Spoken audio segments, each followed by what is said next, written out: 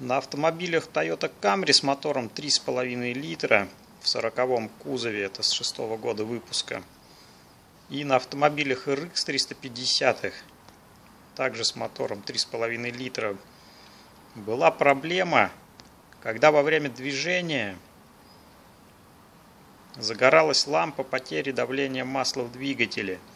Одна из самых вероятных причин это течь трубки VVTI.